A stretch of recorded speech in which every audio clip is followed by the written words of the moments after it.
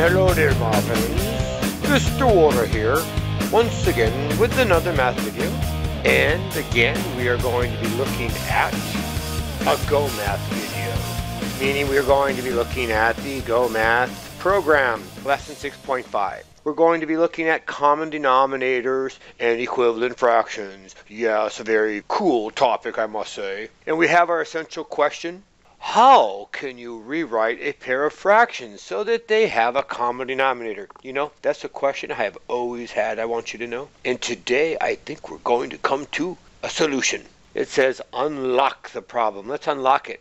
You can see the combination. It's all locked up. It says Sarah planted two one acre gardens. Okay, she's one acre garden. She's got two of them. Okay. One had three sections. Okay. And the other had four sections. Oh, I see she divides. She plans to divide both gardens into more sections so that they have the same number of equal sized sections. Ooh, I like that word. Equal sized. How many sections will each garden have? Ooh, I don't know. It's a great question, you know? It's a very good question. Let's take a look and see what we have here. It says you can use a common denominator or a common multiple of two or more denominators to write fractions that name the same part of a whole. So let's look at that. It might be a little bit confusing, but I think that this might just help you out. If you find this common denominator and common multiple of two or more denominators to write fractions that name the same part of a whole. Okie dokie. Here's our one garden. Think of this as our one garden with the thirds. If you recall, that we're going to divide it into three sections. And then this is the garden that's been divided into four sections. Here's one acre garden. Here's the other acre garden. It says divide each one third into fourths and divide each one fourth into thirds. Ooh. Each of the wholes will be divided into the same number same size parts, twelfths. All right, let's see if that's true. Here's my thirds. So I'm going to go ahead. I'm going to draw a line across here. Ooh, that was really straight. Mr. Waara, you are incredible. How do you do it? Oh, except it's not very equal, is it? In this case, I can solve that problem too. Come on down. There you go. Come on up. Oh, I can live with that. Can't you? Sure you can. All right, and then we're going to divide this one into thirds. Here's we have fourths. Ah, so we'll say that's about a third. Put one right there, maybe another one about right there. You think it's accurate until after you do it, and then you go, okay, maybe a little slight adjusting. And I see, yes, you know what? They're right. It made 12s. 1, 2, 3, 4. 4 times 3 because this is our wonderful little array. This is our array right here. So here we have 4 going this way, and you can see we have 3 going this way. 4 times 3, 12. This is just the opposite. Here we have, oh, that's not a very nice bracket. And here we have 4. So it's 4 times 3. So we do have 12. So both will have 12 sections. Now it says here record. Okay, multiply the denominators to find a common denominator. A common denominator of 1 third and 1 fourth is 12. So if we did multiply the denominators, we would get a common denominator. That will always happen. And that's what this is here too. Common denominator write one third and one fourth as equivalent fractions using the common denominator. So if the denominator is the same because it's common, then that means I would put my 12 down there. Now in this case, one third, by just looking at what this was here, this used to be our one third part here, you can see by just looking, now we have four sections. So that's equal to 4 twelfths. Over here, we had our quarter, which was this much right here. And now you can see we actually have 3 twelfths because there's one, two, three. Don't you just love things that work out? Hey, hey, that's why I love math. Now, since there's another way. Really? Another way? Well, Mr. Warwick, will you show us? Sure, why not? I, I, I have a little bit extra time on my hands. Okay, so make a list of the first eight non-zero multiples of 3 and 4. So they say non-zero, meaning we don't want to start off with 0. So we have 3. So if we do multiples of 3, 3, 6, 9. Oh, this is so easy. 12, 15, 18, 21. Would it be funny if Mr. Ward made a mistake right here when he said it was so easy? Did I make a mistake? I don't think so. Now we have 4. 4, 8, 12, 16, 20, 24, 28, and I hope 32. If you notice, it's like 4 times here. In this case, it's 4 times 3. This was 4 times 2, 4 times 4, 4 times 5. Again, math has those wonderful things that we call patterns. And patterns are so crucial. That's when we're looking for structure, which happens to be one of our mathematical practices. Which number? Uh, I forget. But that is very important. Circle the common multiples.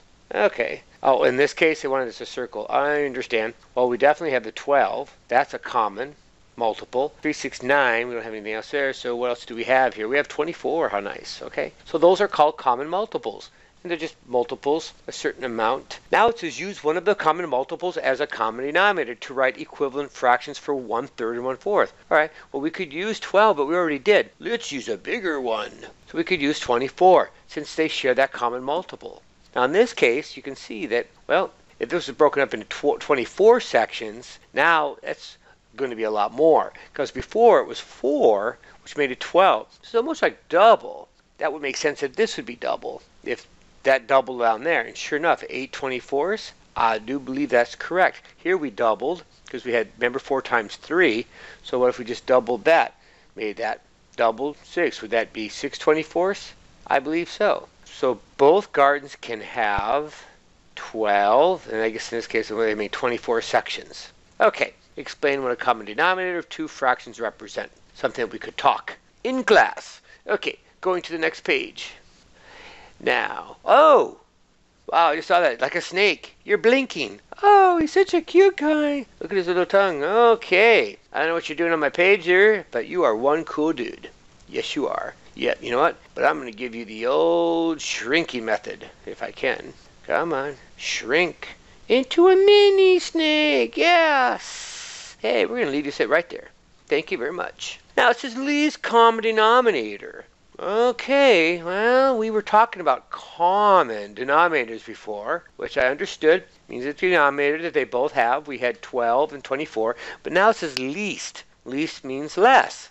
So the least common denominator. To find the least common denominator of two or more fractions by finding the least common multiple of two or more numbers. Okay, I get it. Use a list.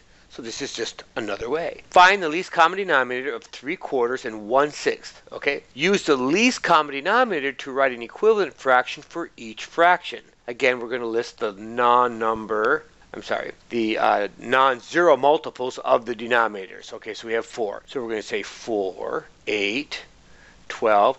Did we already do this before? But we're like making our list. Seems very similar. Of course. And then we could do the 6. We're going to go 6. 12. You see already, we already, we have a least one. We kind of already established that from the last one. So the least common denominator of 3 quarters and 1 sixth would be, yes, is 12. That's the least common denominator. I had some fun and used 24 in the last one. Step 2. Using the least common denominator, we're going to write an equivalent fraction. Okay, okay, Think, what number multiplied by the denominator of the fraction will result in the least common denominator? So in this case, it's showing us 3 quarters is equal to, and we chose that one as our least common denominator. Okay, fair enough. So that is like saying 4 times 3. So I guess kind of we we multiplied by 3 here to get 12. So just or just my color is just changing? kind of cool. Okay, so that means that would be 12 over here. Now if I multiply that denominator by 3. I guess it's only fair to do the same thing at the top. I guess that's what they're doing over here. So 3 times 3 is 9.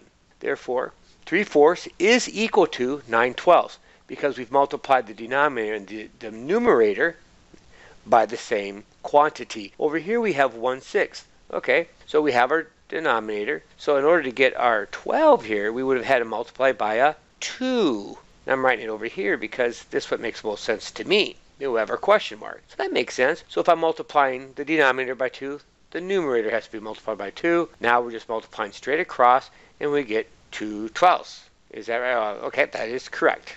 All right, for some reason I was my mind was saying 6 twelfths, but 2 twelfths. So that's 1 sixth. Yeah, that sounds correct. Now, this is 3 quarters can be written as, okay, 9 twelfths. And then over here we have 1 sixth can be written as 2 twelfths.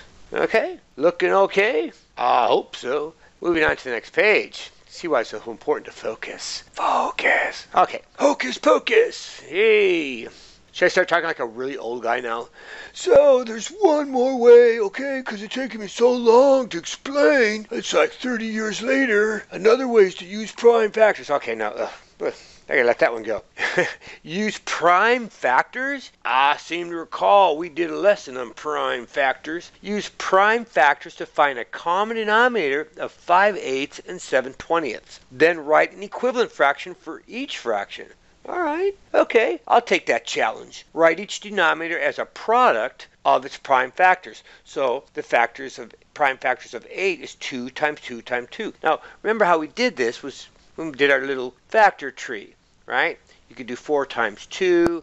2 is a prime factor. 4 is not because you could do 2 times 2 and then look like that. What do you know? 2 times 2 times 2. All right? prime factors of 20. We know are 2 times 2 times 5.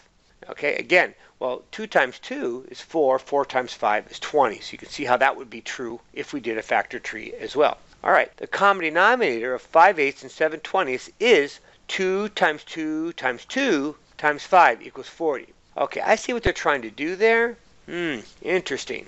They might be showing you another way. I was kind of thinking something else. So they, they put box around that the 3, got it. The 2 were already there, and then the 5. I see they're taking all of it together to give you 40. Now write an equivalent fraction for each fraction, right? So now they've put the 40 already there for you, and there's a 40 over here. Oh, I'm seeing 8, 5 8, so what would you have to multiply 8 to get 40? That would be 5, and if you're multiplying the denominator by 5, then you do the same up here. So you end up with 25 over 40. And again over here, same thing. 20 times something is going to give you 40. Maybe 2, and then we'd, we'd also multiply that numerator and we get 14. Okay, we're going to bring this down. Now it says 5 eighths can be rewritten now as 25 over 40. And 7 twentieths can be written as, it could be written as 14 over 40. And that brought us right to the end here, I do believe. As I led you into this wonderful math video and content, I appreciate your focus. It is now time to let you go. So please, live long and prosper, my friends.